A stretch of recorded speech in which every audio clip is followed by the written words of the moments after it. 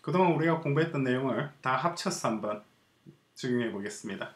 그게 Solving Rational Equations라고 하는 이번 일곱 번째 에피소드의 주제입니다. 그동안 우리 공부했던 것이 다 나옵니다, 이제. 자, 첫 번째 예를 볼까요? 이걸 어떻게 푸나요? 일단 분모를 공통시켜서 LCD를 구하죠. 12입니다. 12를 분자마다 곱해주는 거죠. 곱해준 다음에 이렇게 다시 리듀싱을 합니다. 그죠? 리듀싱을 한 다음에는 곱해야겠죠. 곱해서 이렇게 길어 놨습니다. 그런 다음에 한 변을 제로로 만들어줍니다. 그걸 이제 솔브라고 표현하죠. 그러면은 8x 이거를 19가 되고 이것을 마찬가지로 x만 남기죠. 남기기 위해서 8로 나눠줍니다. 그럼 x는 8분의 19라고 하는 우리 어, 그게 나왔습니다. 그러니까 8분의 19가 들어가게 되면 여기가 이 식이 만족한단 말이죠. equal이라고 하는 문장이 이 문장이 참이 됩니다.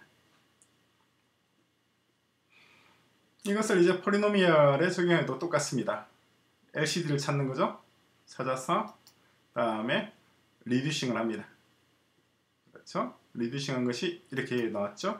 그래서 distribution 하는 것은 이것을 이제 distribution 해주죠.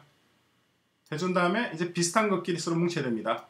뭉치고 그리고 한 변을 제로로 만들어줍니다. 만들어줬죠.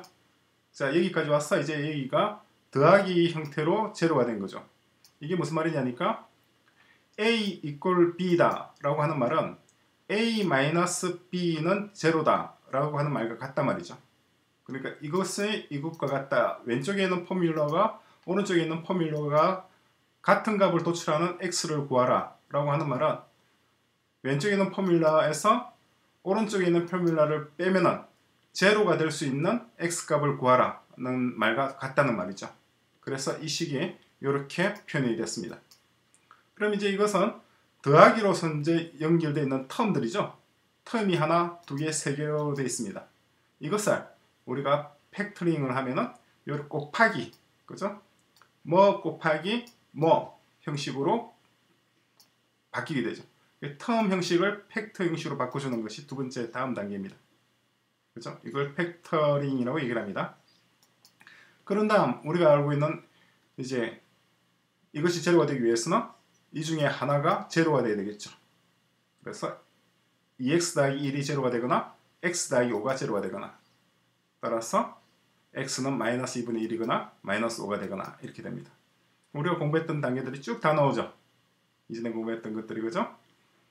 LCD를 구하고 reducing하고 distribution하고 combine like terms하고 make equation 제로로 만들어주고 그죠? 그런 만들어준 단계고 다음에 factor out을 하고 이 팩터 아웃된 형태죠.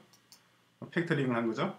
그런 다음에 이제 각각의 요소들 이 녀석과 이 녀석을 솔브하는 거죠. 솔브하면 x값이 떨어져 나옵니다.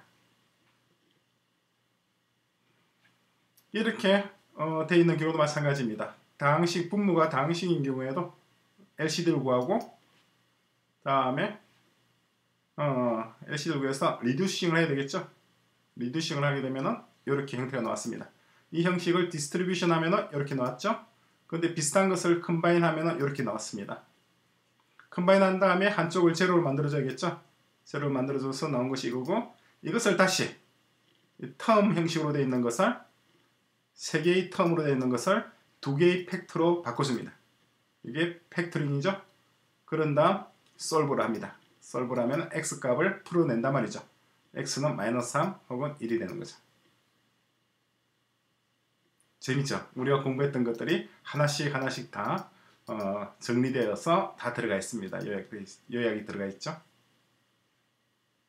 그리고 체킹해 보면은 실제로 맞는지 확인해 볼 수가 있겠죠. 자, 이런 형식은 이거는 이미 이것이 세 개의 텀으로 되어 있는 경우잖아요. 이럴 경우에는 이것과 이것과 이것을 LCD를 구하는 방식 제일 간단한 방법은 그냥 이것 곱하기 이것 곱하기 이것 해주면 되겠죠. 근데 그렇게 하는 것보다는 일단 이것을 팩터가 팩터 아웃이 되는지를 확인해 봐야겠습니다. 그죠? 해보니까 되더란 말이에요. 되면은 LCD가 구해지죠. 훨씬 더 간략한 LCD가 구해집니다. 그죠? 그럼 이제 다 곱해주고 또 distribution, combine 하고 다음에 make equation equal 제로 해주고 어느 한 변을 제로로 만들어주고 다음에 factor 해주고 그런 다음 solve 하는 거죠. 그죠? 네가티브인 경우에는 이전과 마찬가지였죠. 더하기로 바꿔주고 마이너스를 안쪽으로 옮기, 옮겨 두는 것이 일하기가 편합니다. 그런 다음에 이제 LC 들고 하는 거죠. LC 들고 해서 리듀싱하고 이제 포일을 해야겠죠. 포일은 뭡니까? 풀어내는 거잖아요. 풀어내는 거. 어, 이것을 이제 푼다 이걸 풀면 어떻게 되죠? 이렇게 되고 이걸 풀어내면은 이렇게 되는 거죠. 그러니까 factor의 반대가 FOIL입니다. 그렇죠?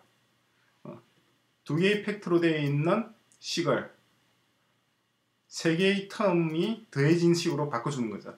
바꿔준 다음에 이것도 바꿔줬습니다.